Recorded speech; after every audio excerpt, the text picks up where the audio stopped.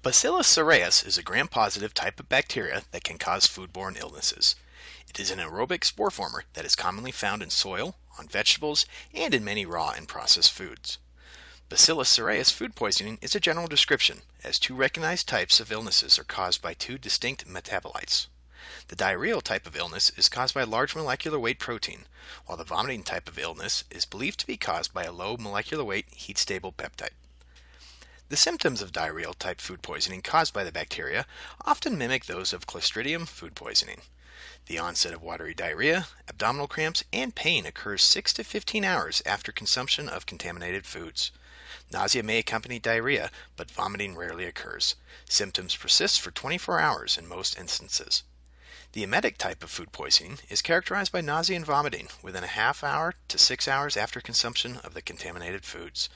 Occasionally, abdominal cramps and or diarrhea may also occur. The duration of symptoms is generally less than 24 hours. Consumption of foods that contain large numbers of the bacteria may result in food poisoning, especially when foods are prepared and held for several hours without adequate refrigeration before serving.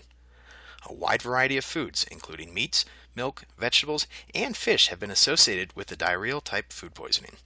The vomiting type outbreaks have generally been associated with rice products.